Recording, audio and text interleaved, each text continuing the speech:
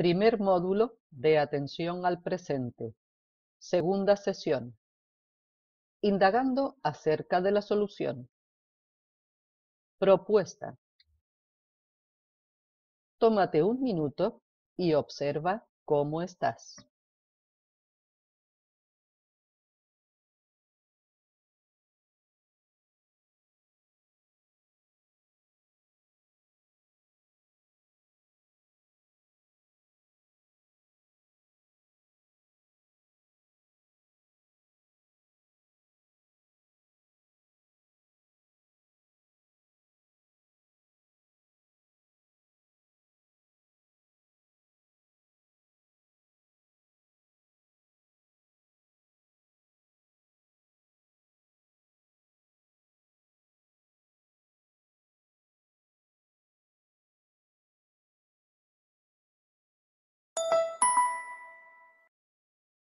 Pregunta sobre la vivencia.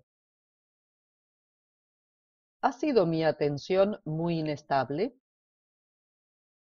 A medida que transcurre el ejercicio, ¿aumenta o disminuye la estabilidad de mi atención? ¿Aumenta o disminuye la frecuencia de mis pensamientos involuntarios? ¿Aumenta o disminuye la intensidad de mis sensaciones corporales? ¿Aumenta o disminuye mi sensación de presencia? ¿Aumenta o disminuye mi sensación de bienestar y relajación? Preguntas. ¿Me he observado en mi vida cotidiana?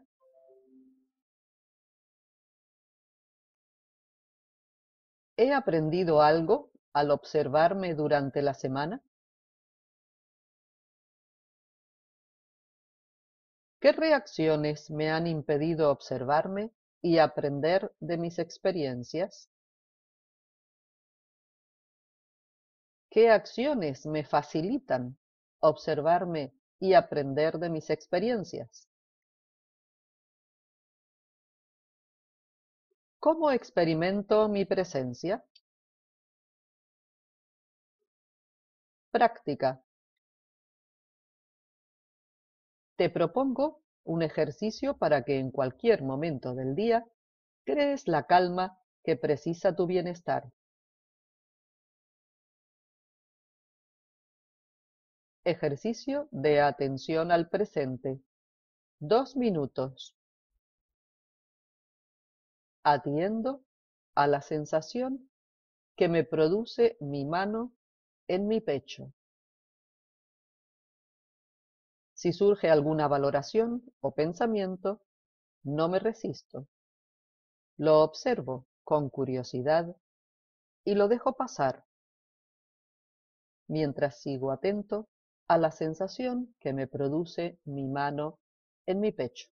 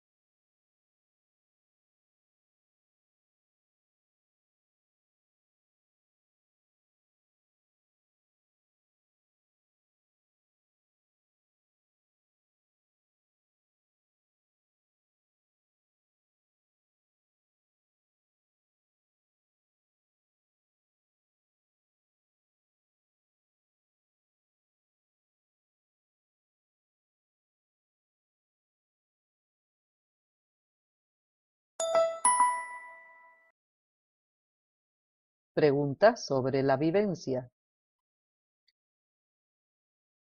¿Ha sido mi atención muy inestable?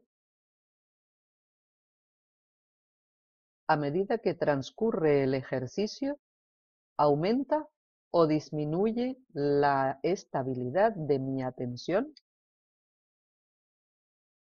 ¿Aumenta o disminuye la frecuencia de mis pensamientos involuntarios?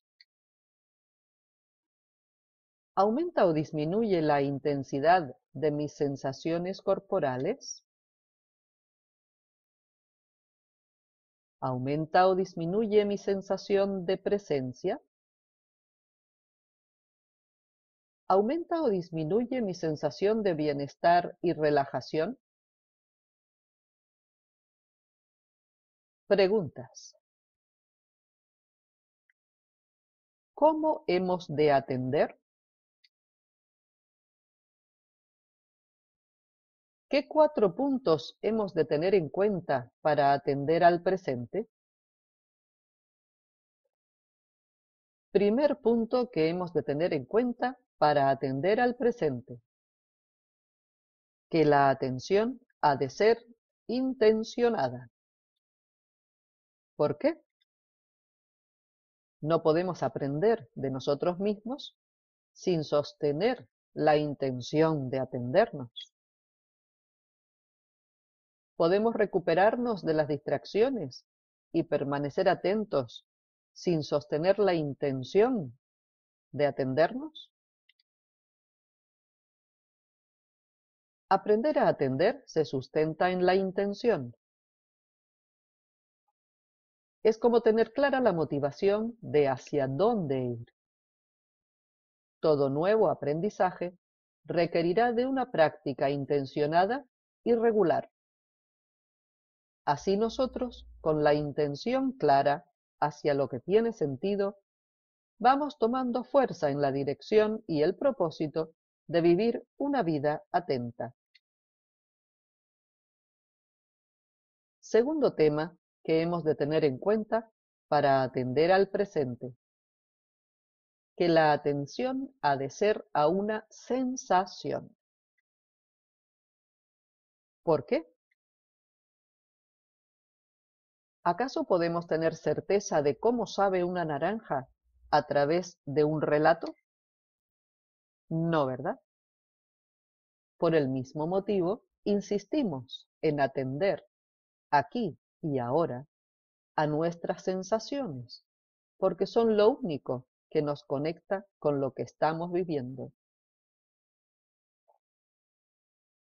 Vivir la atención al presente consiste en atender a las sensaciones de lo que veo, oigo, huelo, saboreo, siento y pienso aquí y ahora. ¿Por qué me sosiego al atender intencionadamente a las sensaciones que estoy viviendo? Si atiendo intencionadamente a la sensación que estoy viviendo, logro calmarme porque se aquieta el pensamiento involuntario. Tercer tema que hemos de tener en cuenta para atender al presente. No resistas a los pensamientos y emociones que te surjan. Simplemente míralos con curiosidad. ¿Por qué? Observa. Cuando he completado un juicio u opinión sobre algo o alguien, ¿puedo acaso seguir sintiendo curiosidad por ello? cuando ya tengo una opinión formada o una firme creencia, ¿me siento abierto a cambiarla o por el contrario, me resisto a dudar de ella?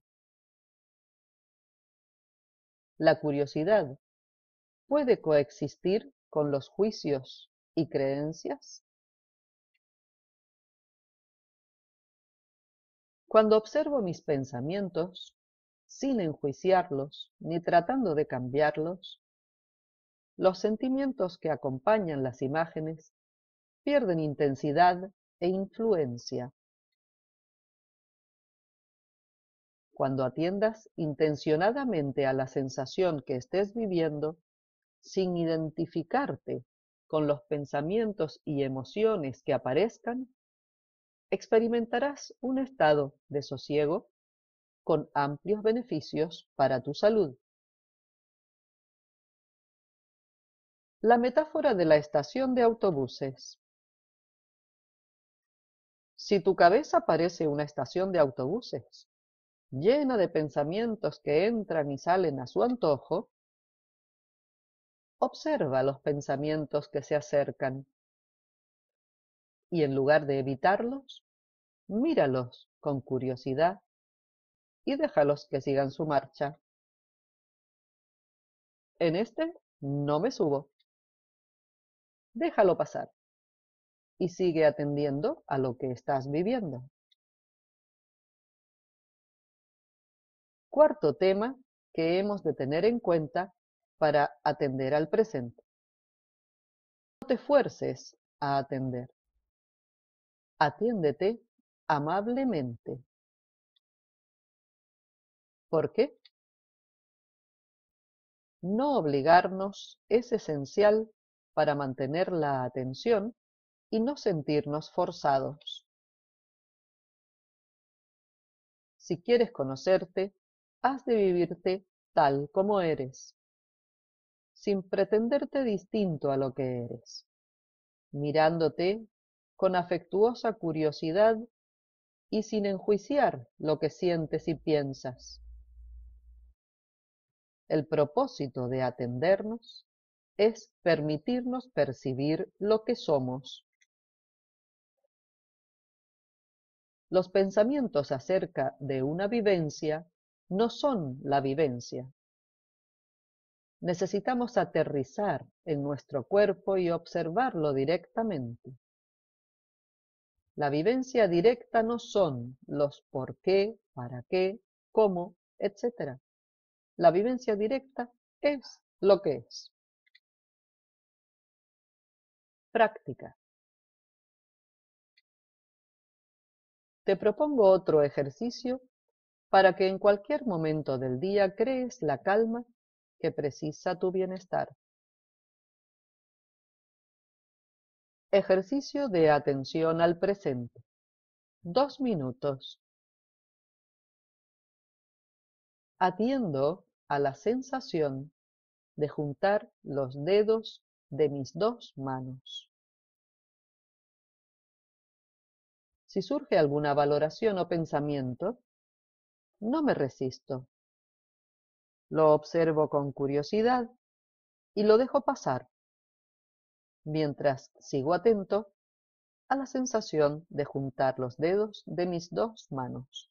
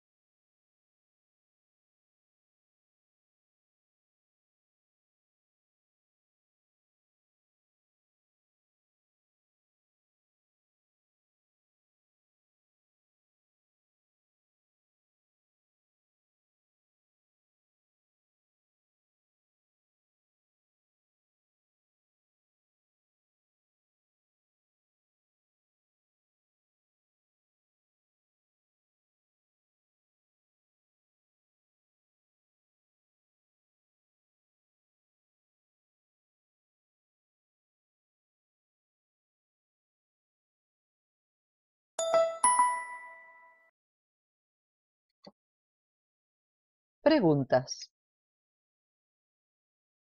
¿Por qué nos sentiremos más saludables al vivir atentos al presente? Porque emocional y mentalmente obtenemos paz, sosiego y armonía. ¿Cómo están mis pensamientos ahora? ¿Alterados por las preocupaciones?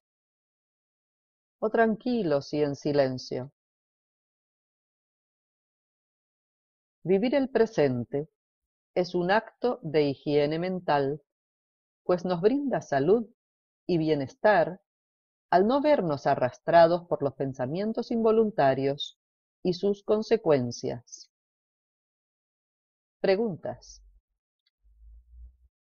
¿Suelo moverme torpemente cuando vivo desatento?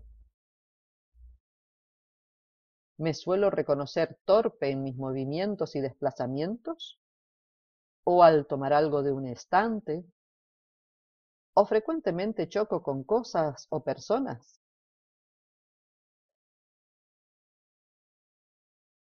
¿Me sosiego cuando armonizo mi respiración con mi movimiento?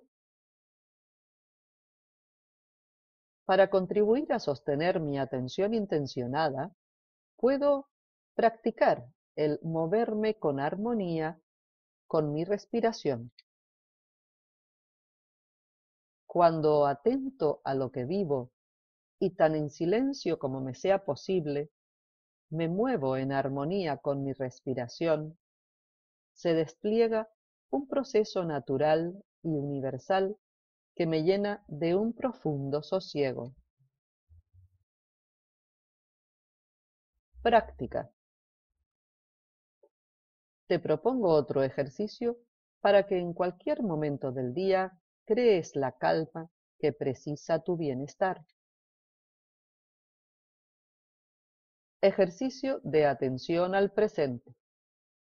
Dos minutos. Atiendo a la sensación de que me froto las manos lentamente en armonía con mi respiración. Si surge alguna valoración o pensamiento, no me resisto. Lo observo con curiosidad y lo dejo pasar, mientras sigo atento al ejercicio.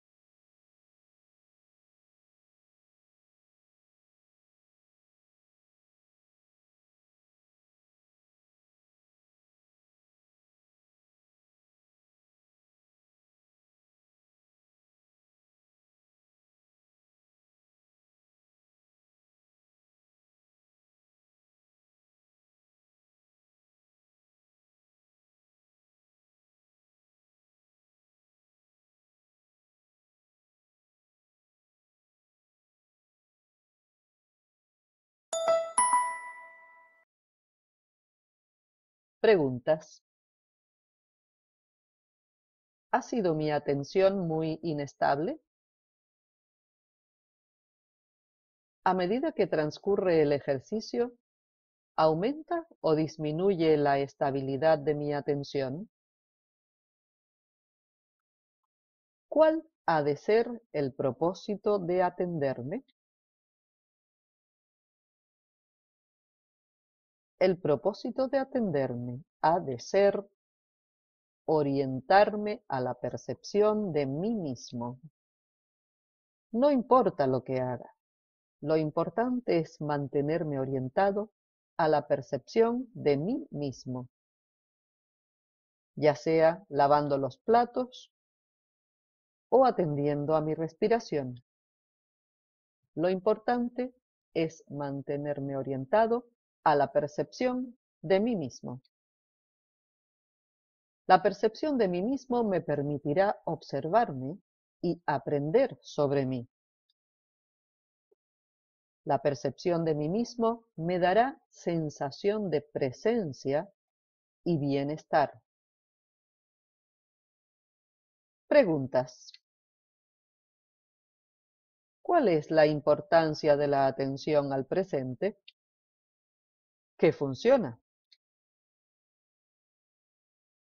Al no identificarme con las reacciones del pensamiento, se produce un estado de coherencia y sosiego con amplios beneficios para mi bienestar, salud personal y social. ¿Y cuál es el objetivo de los ejercicios para atender al presente? El objetivo de atender a las sensaciones que te proponemos es que pongas en marcha la atención intencionada para que luego sigas atento en tu actividad cotidiana. En ese sentido, los ejercicios son como interruptores de la luz que nos conectan con la atención intencionada que activa la atención al presente. Pero los ejercicios no son el objetivo. La vida cotidiana lo es. El objetivo es la salud y el bienestar que nos proporciona una vida atenta. Preguntas. ¿Cómo plantear la responsabilidad con nuestra propia vida? La falta de atención a uno mismo nos lleva a ignorarnos, a estar ausentes, pues al vivir divagando, nuestra vida nos pasa desapercibida y esto nos lleva a la ansiedad o a la depresión. Prestarnos atención nos hace sentirnos vivos. Prestarnos atención nos lleva a habitar nuestra vida y esto nos produce sosiego. Por ello propongo que nos centremos en practicar la atención al presente y que lo hagamos con alegría y agradecimiento por la salud que nos proporciona.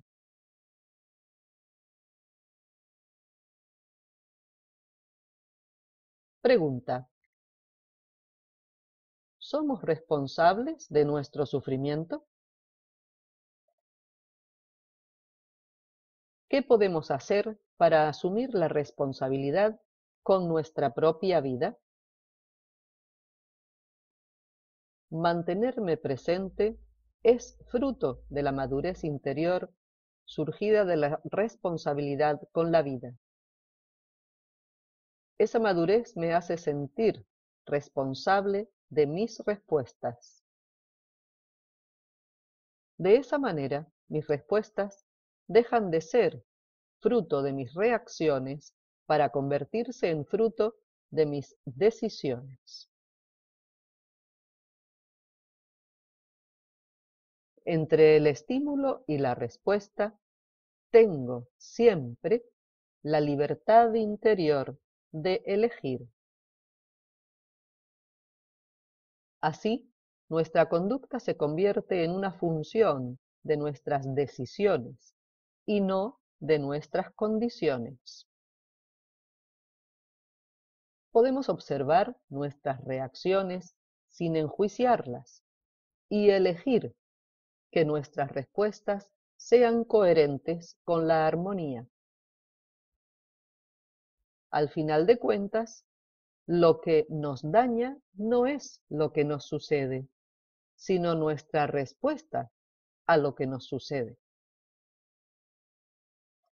Lo que más importa en la vida es cómo respondemos a lo que nos sucede en ella. Tenemos la iniciativa y la responsabilidad de contribuir a nuestra salud y a la salud de todos. A tener en cuenta. Si me descubro distraído, no me disgusto por ello. Me congratulo por haber caído en cuenta. Consideraciones.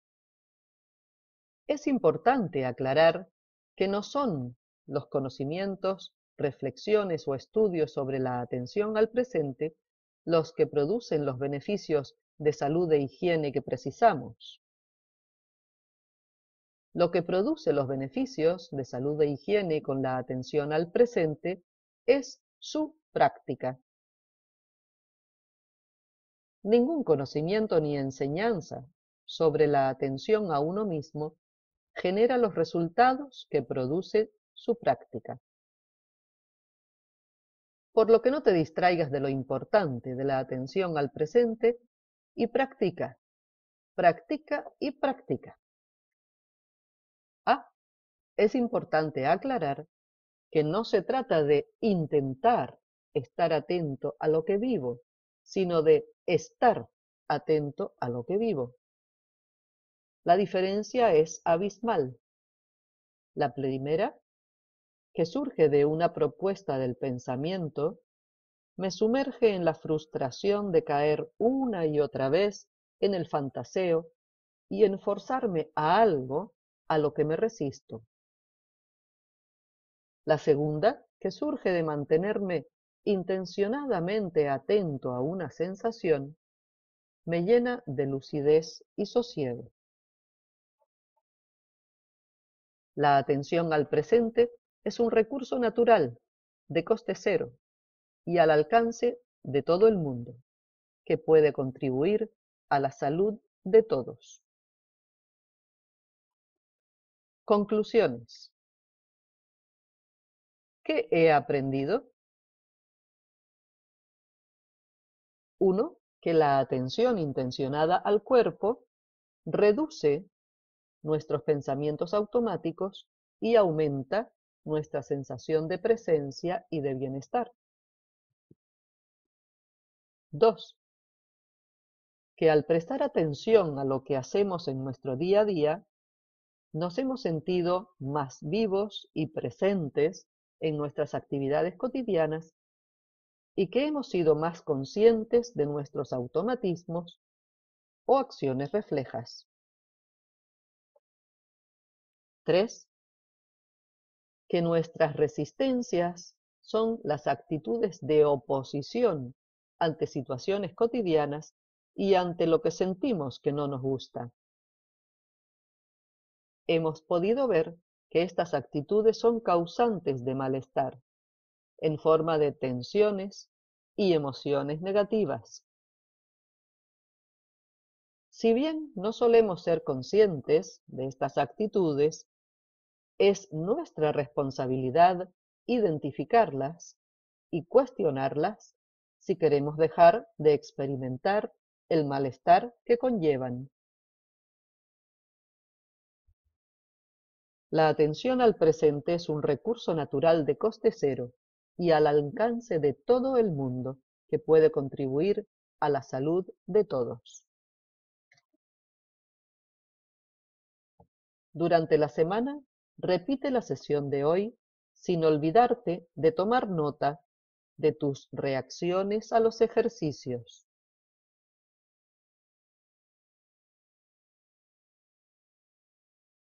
Sugerencia.